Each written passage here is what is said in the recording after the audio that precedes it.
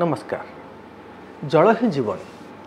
ଜଳ ହେଉଛି ଉଦ୍ଭିଦ ଏବଂ ପ୍ରାଣୀ ଜଗତର ପ୍ରଥମ ଆଧାର ଆହାର ବି ଜଳ ସୃଷ୍ଟି ହେବା ପରେ ସେଇଥିରୁ ସୃଷ୍ଟି ହୋଇଥିଲା ପ୍ରଥମେ ଏକକୋଷୀ ଆମିବା ଶୈବାଳ।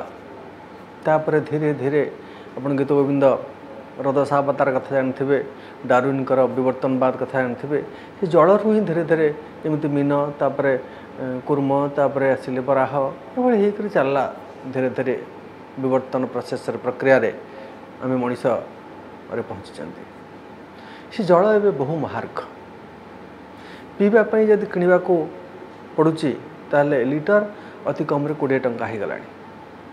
ସମୟ ଆସିବ ପିଇବା ପାଇଁ ଜଳ ଦରକାର କିଣିବାକୁ ପଡ଼ିବ ରୋଷେଇ କରିବା ପାଇଁ କିଣିବାକୁ ପଡ଼ିବ ମୁହଁ ଧୋଇବା ପାଇଁ ହାତ ଧୋଇବା ପାଇଁ କିଣିବାକୁ ପଡ଼ିବ ଘର ଧୋଇବା ପାଇଁ ଗାଡ଼ି ଧୋଇବା ପାଇଁ ସବୁ ପାଇଁ ଜଳ କିଣିବାକୁ ପଡ଼ିବ।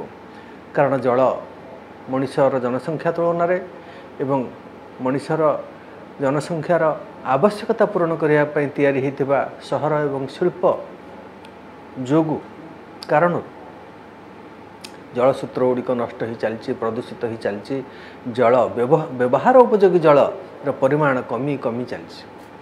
ବର୍ତ୍ତମାନ ତ ଓଡ଼ିଶାରେ ଯେମିତି ବହୁ ନଦୀର ଜଳ ସିଧାସଳଖ ଆଉ ବ୍ୟବହାର ଉପଯୋଗୀ ହୋଇ ରହିନାହିଁ ଶିଳ୍ପ ଏବଂ ସହରର ଆବର୍ଜନା କାରଣରୁ।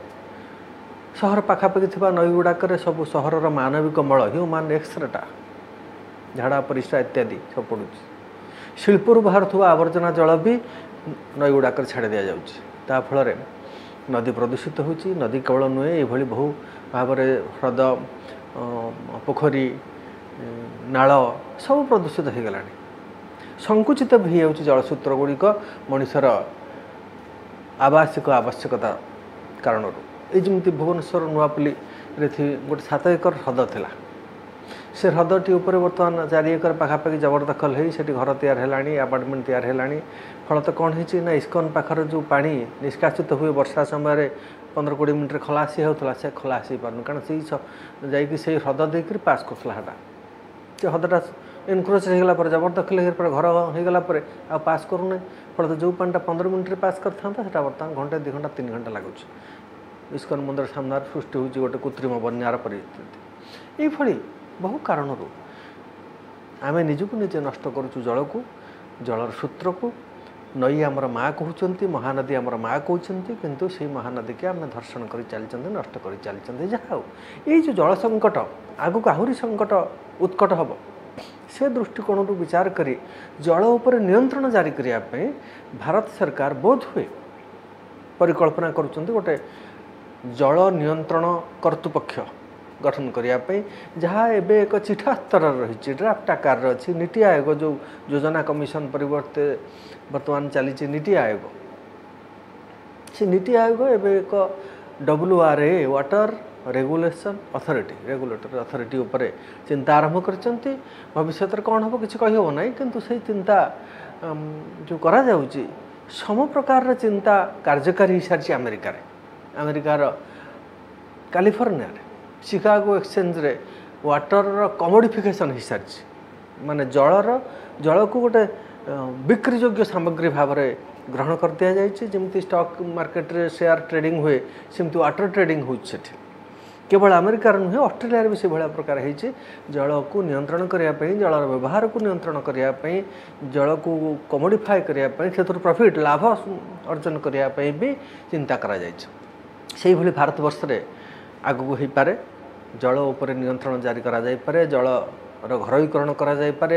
କିଛି ପୁଞ୍ଜିପତି ବ୍ୟବସାୟୀ ବିଭିନ୍ନ ଅଞ୍ଚଳର ଜଳ ଉପରେ ଅଧିକାର ସାବ୍ୟସ୍ତ କରିପାରନ୍ତି ତାକୁ ବିକ୍ରି କରିପାରନ୍ତି ବଜାରରେ। ଯିଏ ପଇସା ଦେଇକରି ପାରିବ ସେ ଜଳ ବ୍ୟବହାର କରିପାରିବ। ଯିଏ ପଇସା ନ ଦେଇପାରିବ ସେ ଜଳ ବ୍ୟବହାର କରିପାରିବ ତାପରେ ସେ ମରୁ ବା ବଞ୍ଚୁ କିଛି ଆଶା ନାହିଁ। ଭାରତୀୟ ସଭ୍ୟତାରେ ଜଳ ଏକ ଭୂତ। ଆମର ଯେଉଁ ପଞ୍ଚଭୂତ ମାଟି ପାଣି ପବନ ନିଆଁ ଏବଂ ବ୍ୟୋମ ବା ଶୂନ୍ୟ ଏ ପଞ୍ଚଭୂତ ଭିତରେ ଜଳ ଗୋଟିଏ ଏବଂ ଜଳ ହେଉଛି ପ୍ରଥମ ଆବଶ୍ୟକତା ଜୀବନର। ତାକୁ ଯଦି ଏମିତି କରାଯାଏ ଏହା ପୂର୍ବରୁ ତ ଏମିତି ଶକ୍ତିକି ଆମେ ଘରୋଇକରଣ କରିସାରିଛନ୍ତି ନିଆଁ ହେଉଛି ଶକ୍ତିର ପ୍ରତୀକ। ଆମେ ଶକ୍ତିକି ଘରୋଇକରଣ କରିଛନ୍ତି ବର୍ତ୍ତମାନ ଗ୍ୟାସ୍ କୋଇଲା ସେ ଜଳବିଦ୍ୟୁତ୍ ହଉ ଯାହା ବି ହଉ ତା'ର ଘରୋଇକରଣ ହୋଇସାରିଛି। ମାଟିର ଘରୋଇକରଣ ହୋଇସାରିଛି।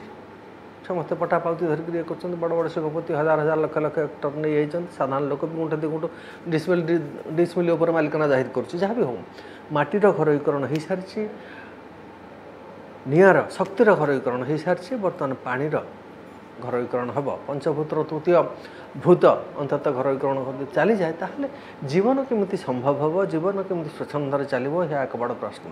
ଦାର୍ଶନିକର ପ୍ରଶ୍ନ ଏବଂ ବୈଜ୍ଞାନିକର ପ୍ରଶ୍ନ ବି ହେଇପାରେ। ସବୁ କଥା ଏତି ବିକ୍ରି ହେବ ସବୁ କଥା ଏତି ସରକାରଙ୍କ ଦ୍ୱାରା ନିୟନ୍ତ୍ରିତ ହେବ ସବୁ କଥା ଏତି ବଜାର ବ୍ୟବସ୍ଥା ଦ୍ୱାରା ପରିଚାଳିତ ହେବ ତାହେଲେ ମୁକ୍ତ ଜୀବନ ସମ୍ଭବ କି? ଜୀବନ ସମ୍ଭବ ହୋଇଗଲା ପରେ ସେ ପୁଣି ବଞ୍ଚିବ ତା'ର ସମ୍ଭବ କି? ଜନ୍ମ ହୁଏ ତ ସମ୍ଭବ ହୋଇଯିବ। କିନ୍ତୁ ତାର ସଷ୍ଟନାନ୍ସ ପରିପୋଷଣୀୟତା ଚିରନ୍ତନତା ସମ୍ଭବ କି? କେମିତି ଚଳିବ ସେ? ବିନା ଜଳରେ ବିନା ଆହାରରେ ବିନା ଶକ୍ତିରେ? ତାପରେ କାଲି ଆପଣ କହିବେ ସୂର୍ଯ୍ୟାଲୋକର ଘରୋଇକରଣ ହେବ। ସୂର୍ଯ୍ୟାଲୋକ ଆଉ ପଡ଼ିବ ନାହିଁ ଯିଏ ପଇସା ଦେବ ସେ ଖରାରେ ଠିଆ ହେବ ନହେଲେ ନାହିଁ। ଯିଏ ପଇସା ଦେବ ସେ ନିଆଁ ଜାଳିବ ନହେଲେ ନାହିଁ। ଯିଏ ପଇସା ଦେବ ପାଣି ପିଇବ ନହେଲେ ନାହିଁ। ଯିଏ ପଇସା ଦେବ ସେ ମାଟି ଉପରେ ଠିଆ ହେବ ନହେଲେ ନାହିଁ ଶୂନ୍ୟରୁ ଉଠୁଥାଉ ଏ କେମିତିକା କଥା? ଏ ପଞ୍ଚଭୂତର ଘରୋଇକରଣ ପଞ୍ଚଭୂତର ବ୍ୟବସାୟୀକରଣ ପଞ୍ଚଭୂତର କମୋଡ଼ିଫିକେସନ୍ କେତେ ଯଥାର୍ଥ କେତେ ଆବଶ୍ୟକ? ଆମେ ତା'ର ବିକଳ୍ପ ଅଛି କି ନାହିଁ?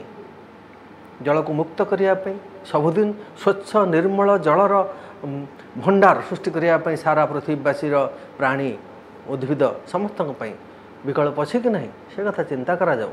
ତାହା ନ କରିକିରି ଜଳର ବ୍ୟବସାୟୀକରଣ ପବନର ବ୍ୟବସାୟୀକରଣ ମାଟିର ବ୍ୟବସାୟୀକରଣ ନିଆଁର ବ୍ୟବସାୟୀକରଣ ଏବଂ ବ୍ୟୋମର ବି ବ୍ୟବସାୟୀକରଣ ଯାହା ହେଉଛି ମହାକାଶରେ ବର୍ତ୍ତମାନ ଆମେ ରକେଟ୍ ଫକେଟ୍ ଛାଡ଼ିକରି ସାଟେଲାଇଟ୍ ଉପଗ୍ରହ ଛାଡ଼ିକି ଯାହା କରୁଛୁ ଏସବୁ ଉପରେ ଗଭୀର ଅନୁଶୀଳନ ଅଧ୍ୟୟନ ତର୍ଜମା ଦରକାର ଏବଂ ଜନମତ ବି ସେହି ଅନୁସାରେ ପରିଚାଳିତ ହେବା ଦରକାର ସୃଷ୍ଟି ହେବା ଦରକାର।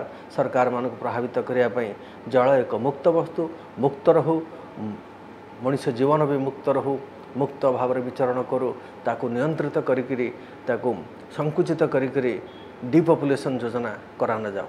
ଧନ୍ୟବାଦ।